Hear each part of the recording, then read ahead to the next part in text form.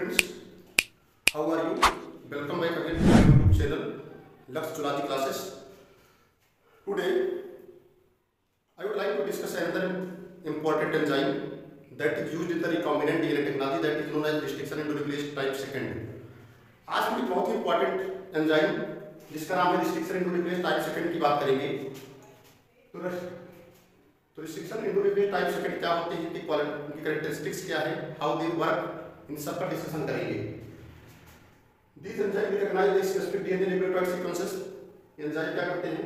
किसी भी specific nucleotide sequences को रिकॉग्नाइज कर लेते हैं, पहचान कर लेते हैं, और दोनों पॉलीन्यूक्लियोटाइड चेन को, जो दो पॉलीन्यूक्लियोटाइड चेन होती है 5 प्राइम टू 3 प्राइम और 3 प्राइम टू 5 प्राइम दोनों को, दोनों पॉलीन्यूक्लियोटाइड चेन को क्या करते हैं? कट कर देते हैं।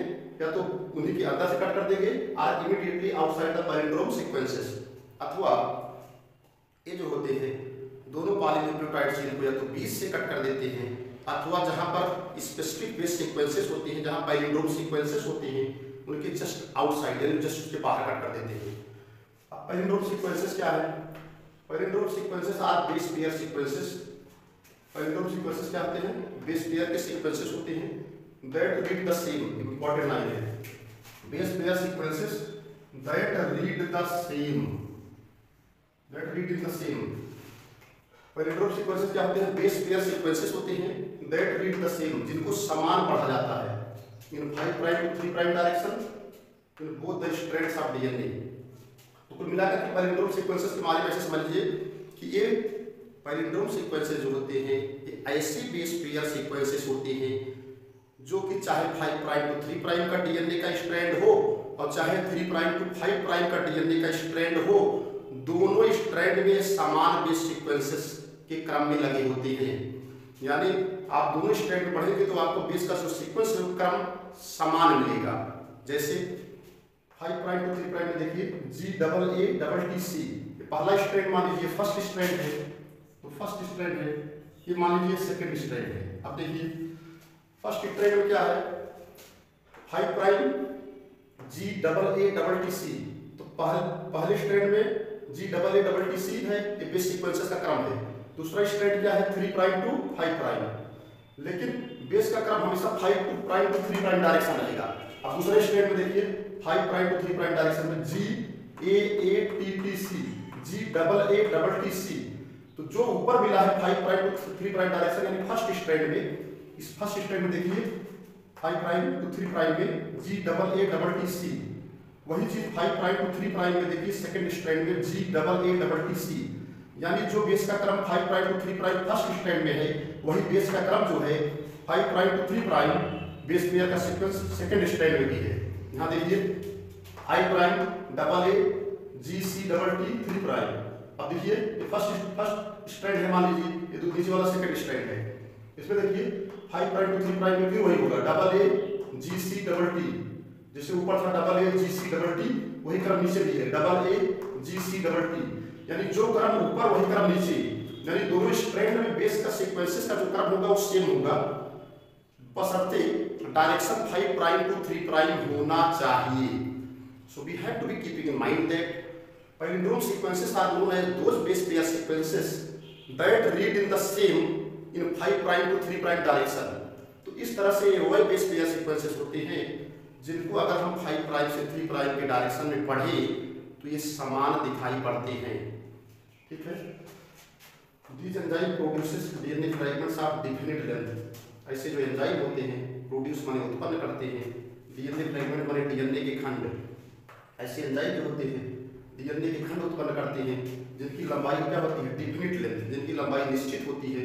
एंड सीक्वेंसेस माने जो क्रम होता है, वो भी निश्चित होता है।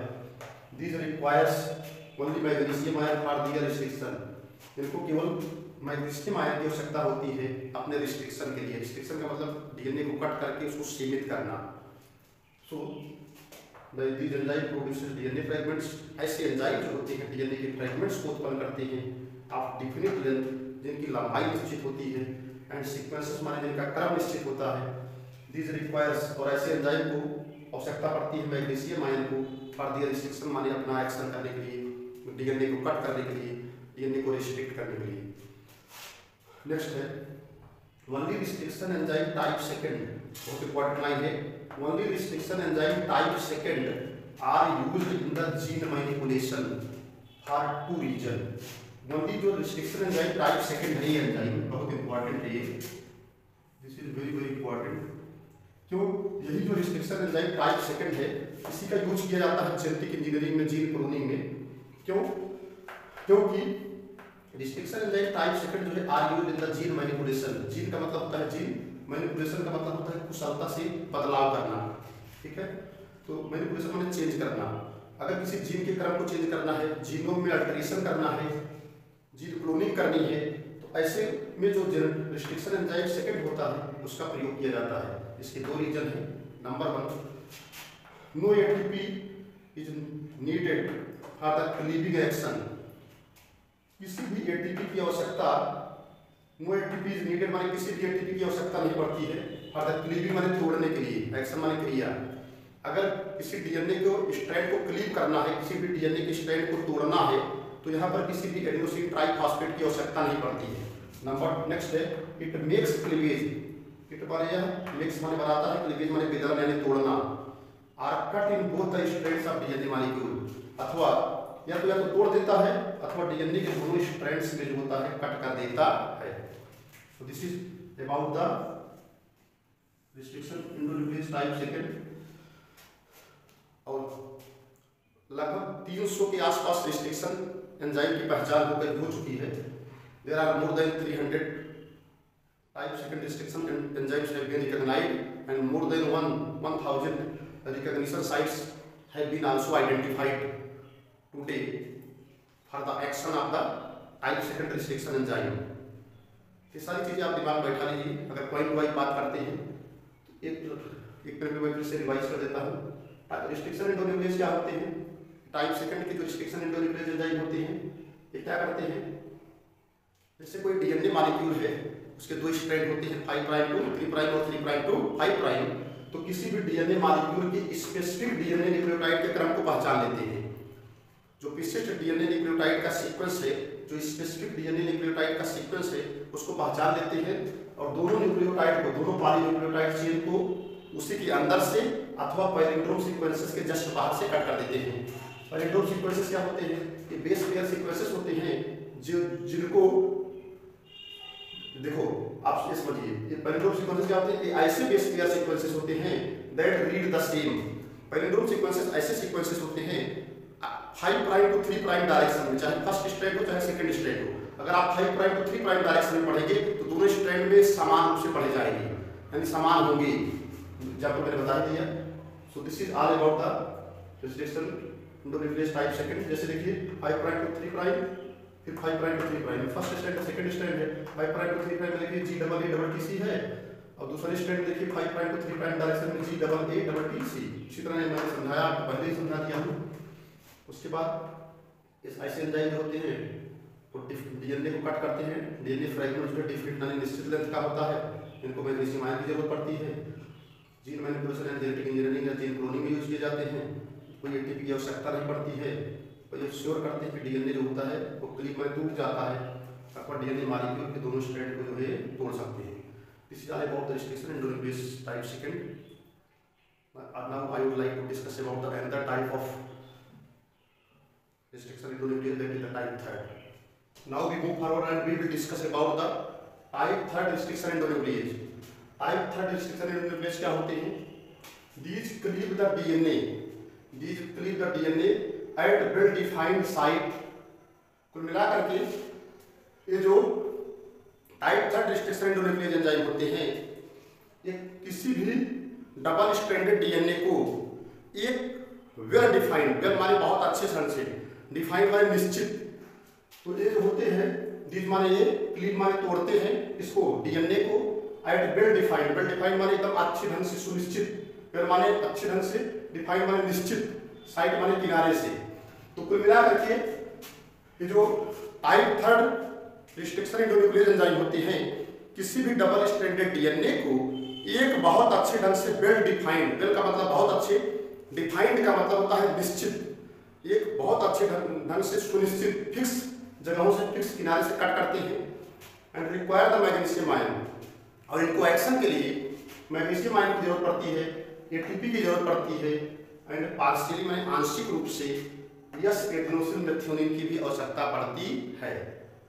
So we have to be keeping in mind that the type third restriction into nuclease enzymes are a kind of enzyme, they are going to cleave the both the strands of the polynucleotide chain but only at the well defined site so we have to be keeping the well defined site of the double stranded dna molecule किसी भी double standard DNA molecule के एक well defined माने एक बहुत अच्छे ढंग से निश्चित डिफाइंड माने होता है परिभाषित डिफाइंड का मतलब यहाँ परिभाषित नहीं होगा डिफाइंड का मतलब एक फिक्स निश्चित साइट से ही डीएनए को कट करते हैं इनको एमजी चाहिए एटीपी चाहिए और पार्शियली यस एडनोसिन चाहिए। These enzyme are intermediate between the type first and type second enzyme जो होते हैं रिस्ट्रिक्शन एंडोन्यूक्लियस फ़र्स्ट टाइप और रिस्ट्रिक्शन एंडोन्यूक्लियस टाइप सेकंड के बीच के होते हैं। ये तीन डायग्राम बताए गए हैं। इसमें बताया गया है कि जैसे एक्सोन्यूक्लियस का एक्शन कैसे होगा इंडोन्यूक्लियस का होगा और रिस्ट्रिक्शन इंडोन्यूक्लियस इक्वालाई का कैसे होगा। Figure showing the difference between the three type of nuclease enzyme तो तीन तरह के न्यूक्लियस एंजाइम होते हैं रिस्ट्रिक्शन इंडोन्यूक्लियस फ़र्स्ट सेकंड और थर्ड जैसे एक्सोन्यूक्लियस है। एक्सोन्यूक्लियस क्या करता है? किसी भी डबल स्टैंडर्ड डीएनए को उसके टर्मिनल एंड से कट करता है। देखिए, ये 5 प्राइम टू 3 प्राइम एंड है, ये 3 प्राइम टू 5 प्राइम तो अब क्या किया ये टर्मिनल एंड है 5 प्राइम एंड ये कौन सा एंड है? Terminal P P for terminal तो इसने क्या किया? इस डबल स्टैंडर्ड डीएनए को इस 5 प्राइम एंड से कट कर दिया। देखिए nucleotide separated from the 5 prime end इसका मतलब ये है it means that they are going to exonuclease enzymes are such kind of enzyme, they are going to cleave the double stranded DNA at the terminal site. कि terminal site terminal का मतलब है pertaining to and जहाँ पर DNA खत्म होता है, चाहे वो 5 प्राइम साइट हो, चाहे वो 3 प्राइम साइट हो। चाहे वो 3 प्राइम साइट हो, चाहे वो 5 प्राइम हो, जहाँ पर डीएनए मॉलिक्यूल खत्म होते हैं, उसको टर्मिनल साइट कहते हैं टर्मिनेटिंग साइट कहते हैं, उसी से डीएनए को कट कर देते हैं, और जो न्यूक्लियोटाइड सेपरेट हो जाता है दूसरा है endonuclease. Incision inside the polynucleotide chain endonuclease enzymes क्या होते हैं? इंडोन्यूक्लियस एंजाइम्स ऐसे एंजाइम्स होते हैं जो incision inside the polynucleotide chain ये क्या करते हैं? अपना जो इंसिजन यानी ये जो कट करते हैं किसी भी डबल स्ट्रैंडेड डीएनए मॉलिक्यूल को, वो इनसाइड वाले पॉलीन्यूक्लियोटाइड के बीचों बीच से काट देते हैं। देखिए incision inside the polynucleotide chain ये देखिए 5 prime to 3 prime 3 prime to 5 prime अब उन्होंने क्या किया? इसी 20 से 20 से क्या कर दिया? पॉलीन्यूक्लियोटाइड चेन को कट कर दिया। एंडोन्यूक्लियस है। और थर्ड है रिस्ट्रिक्शन एंडोन्यूक्लियस इको आ रहा है जो रिस्ट्रिक्शन एंडोन्यूक्लियस है और थर्ड जो वेरी वेरी इंपॉर्टेंट है कि कॉमनली यूज़ किया जाता है जेनेटिक इंजीनियरिंग में। तो रिस्ट्रिक्शन एंडोन्यूक्लियस इको आ रहा है जो रिस्ट्रिक्शन एंडोन्यूक्लियस इको आ रहा है क्यों कहते हैं, क्योंकि यह रिस्ट्रिक्शन एंडोन्यूक्लियस इस्चराइजिया कोलाई से ऑब्टेन किया गया है। इको आ रहा है क्या है? ग्राम नेगेटिव बैक्टीरिया है। इको आ रहा है ग्राम नेगेटिव बैक्टीरिया से इस एंजाइम को आइसोलेट किया गया है। इसलिए इसका नाम रखा गया है रिस्ट्रिक्शन एंडोन्यूक्लियस इको आ रहा है देखिए 5 prime to 3 prime 3 prime to 5 prime 3 prime to 5 prime 3 prime to 5 prime यानी अगर हम डायरेक्ट देखें तो 5 प्राइम टू 3 प्राइम इसमें क्या किया? जहाँ से पैलिंड्रोम सीक्वेंसेस था incision at palindrome sequences incision मतलब होता है कट करना। जैसे यहाँ पर इंसिशन का मतलब होता है चिन्ह या निशान है, काटना। इन्होंने पॉलीन्यूक्लियोटाइड चेन को यहाँ बीचों बीच से काट दिया। इसलिए कहते हैं इंडोन्यूक्लियस यहाँ पर क्या होगा पॉलीन्यूक्लियोटाइड को ये बीचों बीच से तो काटता है, लेकिन पैलिंड्रोमिक सीक्वेंसेस से काटता है। पैलिंड्रोमिक सीक्वेंसेस पहले ही बता चुका हूँ कि पैलिंड्रोमिक सीक्वेंसेस ऐसे सीक्वेंसेस होते हैं कि वहाँ पर बेस के जो सीक्वेंसेस होते हैं 5 प्राइम टू 3 प्राइम डायरेक्शन में हमेशा समान होते हैं। जैसे यहाँ देखिए 5 prime to 3 prime 3 prime to 5 prime यहाँ देखिए double A double T C है, ठीक है? 5 प्राइम दूसरे स्टैंडर्ड में देखिए 5 प्राइम टू 3 प्राइम में double A double T C ठीक है? यहाँ देखिए 5 प्राइम टू 3 प्राइम या इस टाइप देखिए 5 प्राइम टू 3 प्राइम अगर ऐसे पढ़ेंगे तो ठीक है? तो double A double T C ऊपर भी है डबल ए डबल टी और सी नीचे भी है। यानी अगर हम उनको 5 प्राइम टू 3 प्राइम डायरेक्शन में पढ़ेंगे तो जो ऊपर है, वही एग्जैक्टली क्या होगी? नीचे होंगी। तो palindrome sequences are known as those base sequences in the same direction in both the double stranded DNA molecule in 5 prime to 3 prime direction तो पैलिंड्रोम सीक्वेंसेस ऐसे सीक्वेंसेस होते हैं, जिनमें डीएनए के सीक्वेंसेस जो होते हैं, समान होते हैं। दोनों डीएनए के स्ट्रैंड्स में बशर्ते उनका जो डायरेक्शन हो 5 प्राइम टू 3 प्राइम होना चाहिए। So this is all about the type third restriction endonuclease enzyme. I hope that आप लोगों को बहुत अच्छे ढंग से समझ में आया होगा। एक बार रिव्यू कर देते हैं। एक क्लिक करते हैं डीएनए को वेल डिफाइंड साइट से इनको मतलब एक निश्चित साइट से काटते हैं। मैग्नीशियम एटीपी और यस एडोसिल्मेथियोनिन की आवश्यकता पड़ती है। ऐसे एंजाइम होते हैं इंटरमीडिएट होते हैं टाइप वन के और टाइप टू के।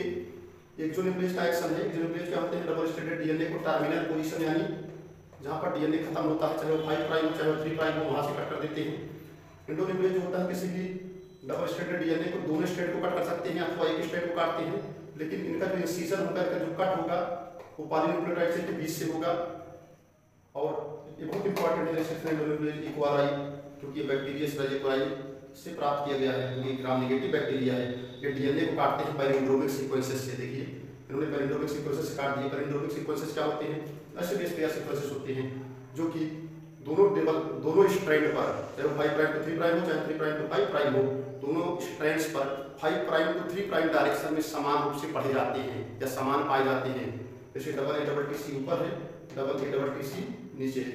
नीचे five prime to three prime ये भी five prime to three prime direction था। नीचे क्या है? Five prime to three prime so that's all about this I hope that you must be understand about the restriction endonuclease enzyme आप सभी को बहुत अच्छे ढंग से समझ में आया होगा। तो आप चैनल को लाइक करिएगा सब्सक्राइब करिएगा। एंड अगेंस्ट अपने चैनल के ब्लेसिंग इस चैनल पर शुभकामनाएँ देती रहिएगा। Thanks to all of you watching the video thank you